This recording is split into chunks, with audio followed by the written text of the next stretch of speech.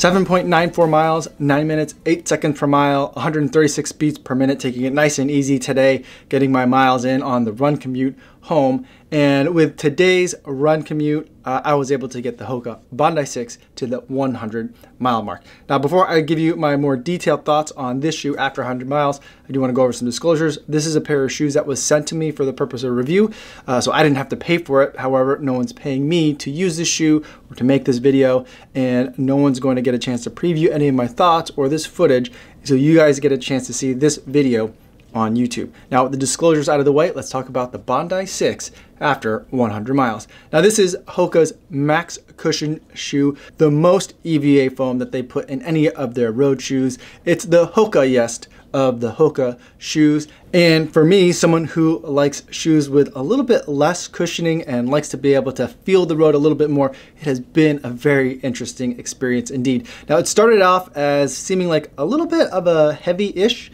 kind of shoe. Uh, it's 10.9 ounces, uh, that's what it's listed at uh, for my size 9, uh, which puts it interestingly at the same weight or actually a little bit lighter than the Ultra Boost 19 just for comparison purposes in terms of weight but it is a little bit heavier than I normally like for a shoe and the stack height certainly felt very high I'm not sure if it's actually that much higher than some of the shoes that I've raced in but it felt really high uh, of a stack height shoe when I first put it on. It wasn't until about 30 or even maybe 40 miles into it where the shoe really started to change. That stack height started to soften up and at that point then every time I ran in it, uh, it was a little bit mushier, but in a really good way. In a way that actually reminded me a lot of what it felt like to run in the Ultra Boost 4.0, the Ultra Boost from a couple of years ago now, which is a shoe that I actually really liked in for this genre of max cushion. So who's max cushion really for?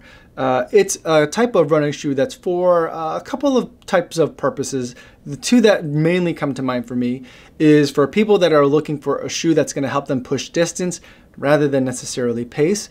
People that are looking for uh, something that is going to help them soak up all the road miles. The other kind of person I think it's for is for someone that needs something that's a little bit easier on their joints. Uh, so someone that's maybe having some knee pain or knee issues and wants something that's going to be, again, able to soak up some of that impact, the pounding from all those road miles. That's who this max cushion type of shoe is really for. Now, what I felt after the shoe softened a little bit was that the shoe still had a lot of that stack height and still kind of gave me that kind of insulated from the road feeling, which I'm not a huge fan of. But with that, after that 30 or 40 mile mark, is that the kind of, it felt like almost like the top layer of the EVA foam had compressed enough that I felt like I was getting a lot more of a softer landing with each stride in a very comfortable way. Now, usually the price for that, and what I felt in, for example, the Ultra Boost 4.0, was that the price for that was a lot of speed and a lot of extra effort. And so in that way, I felt like the Ultra Boost 4.0 was a good shoe to run in and a good recovery shoe. But I didn't really like it for the other use case of uh, like a max cushion shoe, which is to kind of push mileage, because I felt like I was working a little bit harder to run in that shoe. I didn't really feel that with this shoe. I'm getting all that softness. I'm getting kind of like that softer, easier landing, uh, but I'm still able to move relatively quickly without any extra effort. So there wasn't that kind of speed penalty that came with all the cushioning in the shoe, which I thought was really great. But it wasn't a perfect shoe for me. I still kind of at times felt like the shoe was clunky. So sometimes I would get in the shoe and I would feel like kind of Darth Vader running, where it just kind of felt like a little bit herky jerky. And other times I just felt like I was really uh, in sync with the shoe and we were getting into a really great rhythm. I felt the softness, I felt the cushioning, it felt really plush, almost as if they were like ortholite in here or something like memory foam. Uh, but I was still able to move and get through the gait cycle really quickly.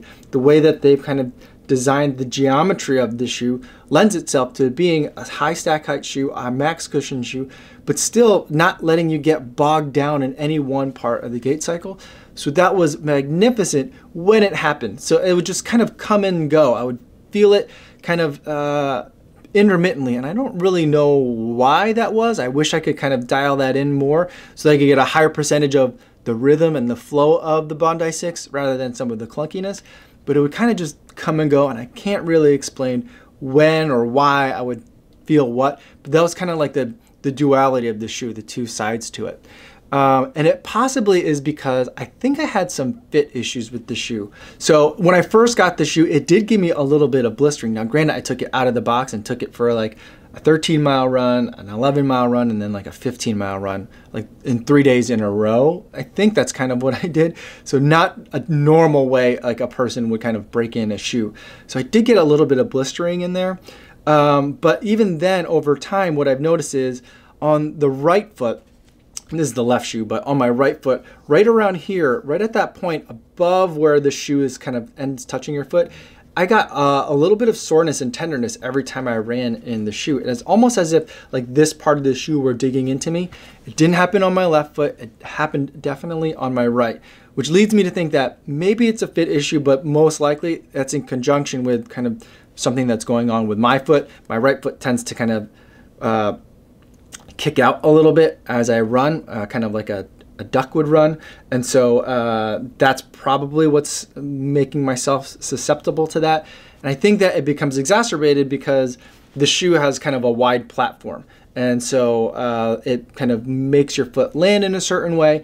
And so if you look at the wear pattern on the back right heel, it's very different than the wear pattern on the back left heel in terms of where the rubber is hitting the road.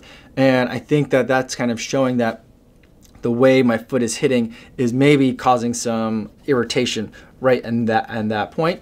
Uh, there's other fit issues as well. For a max cushion shoe, I feel like either it's not snug enough or it's too loose. I'm not sure exactly which one it is. It, it may be both. Uh, and so I, one thing that I notice is when I reach for a, a max cushion shoe, I usually want it on a recovery day when my feet are feeling a little bit beat up, when my body's feeling a little bit beat up.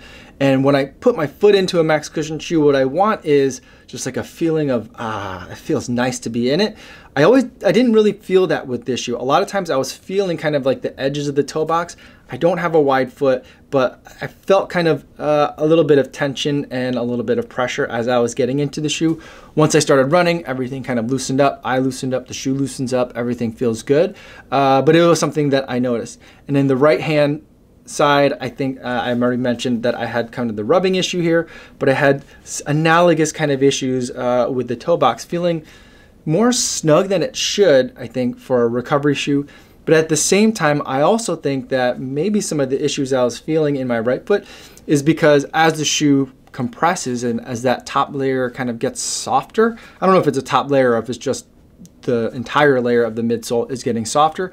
I felt like maybe I'm sliding around inside the shoe a little bit, so I couldn't get it to feel completely dialed in. I don't like it when I can identify a problem and can't like provide a solution, but I don't really know how to, to kind of fix that.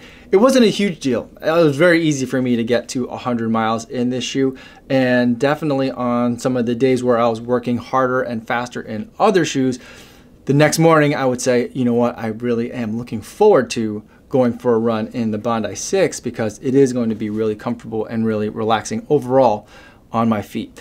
In terms of other aspects, wrapping up the 100 mile kind of review on this shoe, I will say that the upper is holding up fantastically well. It hardly looks like it's been worn at all.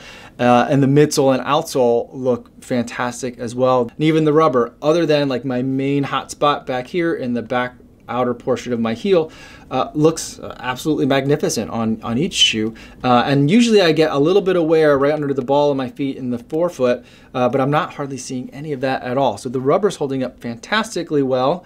Uh, the shoe is holding up well. Now that the shoe has broken in, it's been an absolute pleasure to run my recovery miles in these for those times when I can really get into the rhythm. The other times when it's clunky, it's just a little bit it just seems like a max cushion shoe that maybe I'm not a huge fan of. But when I can get in that rhythm, it just feels so smooth. And I really love that sensation about this shoe. So I think that if you're looking in the max cushion genre, this is something that you should definitely put into your consideration. Uh, if you have any more questions about the Bondi 6, uh, put them in the comments down below. I'd love to talk to you guys about it more down there. Uh, before I go, I do want to remind you guys about the charity runner for this week. This week it's Thomas Conabear, who's going to be running the London Marathon and raising money for the Meningitis Research Foundation. I was happy to donate $70 to Thomas's fundraising efforts, and I'll post a link in the description in case you'd like to learn more. That's all I have for today, everybody. Thanks so much for making it all the way to the end of the video, and I will see you tomorrow. Yo, what's going on?